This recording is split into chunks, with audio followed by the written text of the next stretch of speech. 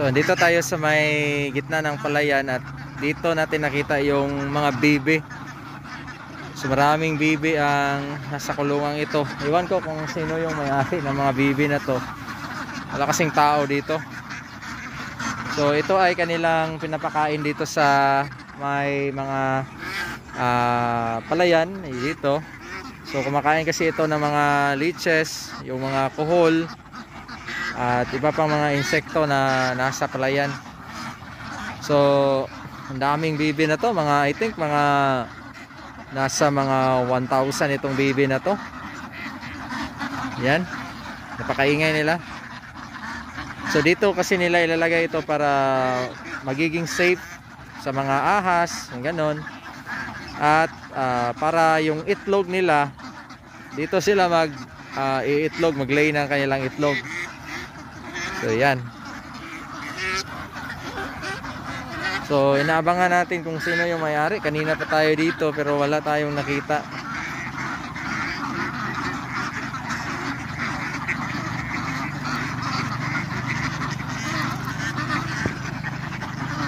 Daming bibi.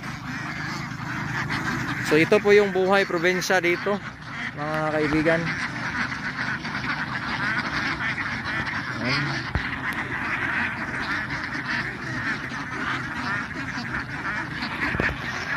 Ah, tahimik dito na lugar na to.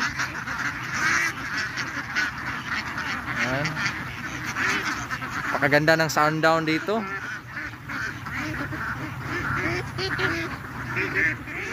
Ayan.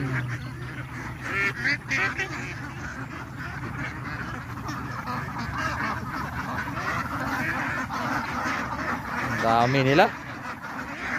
Baka makahanap tayong itlog dito. Wala pang itlog.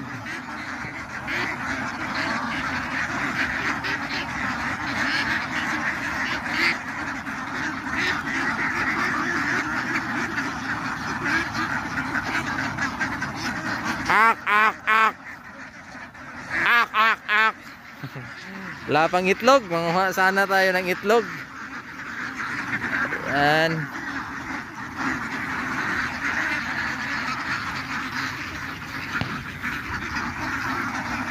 Yan, may rainbow.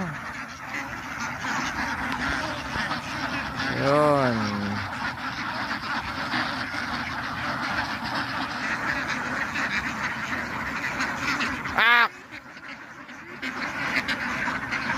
Yan. Saan kaya yung may-ari ng mga bibi na to?